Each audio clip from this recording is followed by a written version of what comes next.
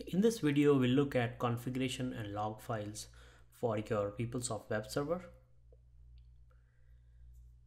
Right now, we are managing our web server using psadmin. So we'll find information here.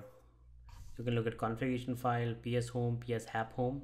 But because we are managing a web server, this is information that we are interested in, which is PIA home.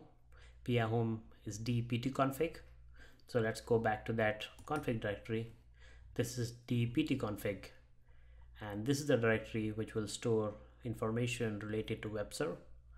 So go to web server directory go to PeopleSoft and there are so many different folders. So let's look at the configuration file first.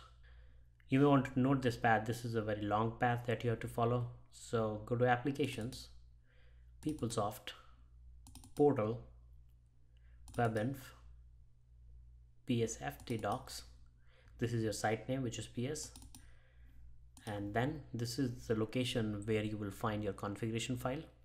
Configuration file for your PeopleSoft WebLogic web server is configuration.properties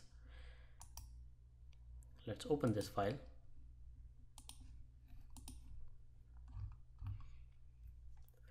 In this file you will find information used by web server to connect to application server this parameter, PS server parameter, is the value used by web server, which means PS server means this is the server for application server and this is the JSL port number.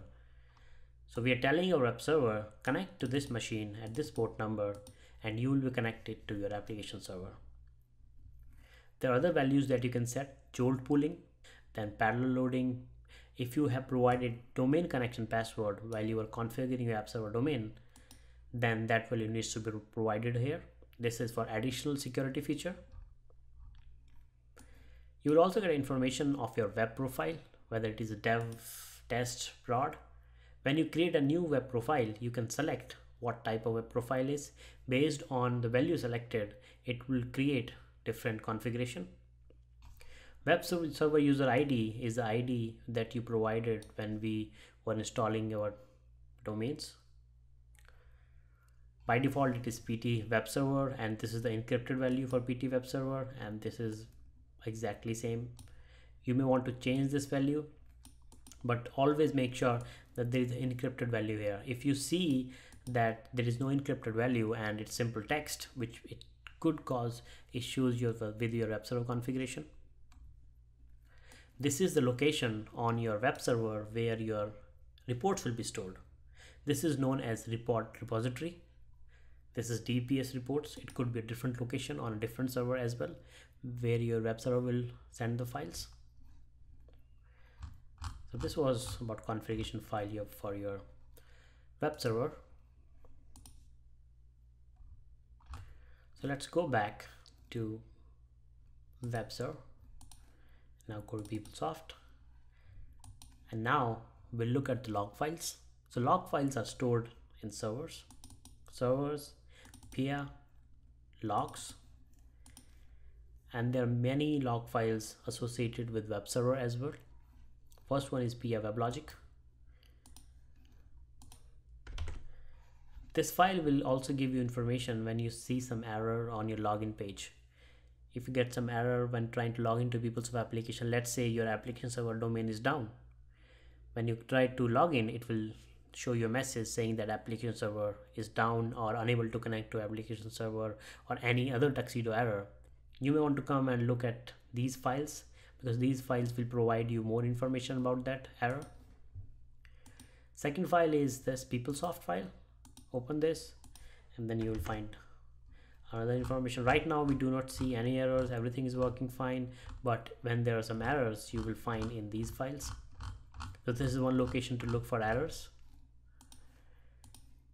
and then you may want to look at PSTTR. This shows that there were some errors. Most likely it's because of network issues. As you can see Jolt exception, which most likely means it's not able to connect to Jolt, which is again your application server, so some network issues.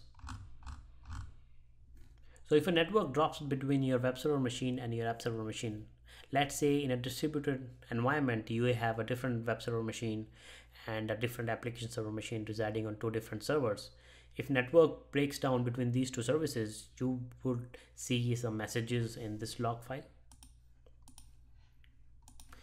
And likewise we saw in app and web configuration and logs these are archived. So these are all old files. Another file you want to look at is PIA access right now it's blank but you may want to come and look at it and there might be some issues here. So this was about configuration and log files for your PeopleSoft web server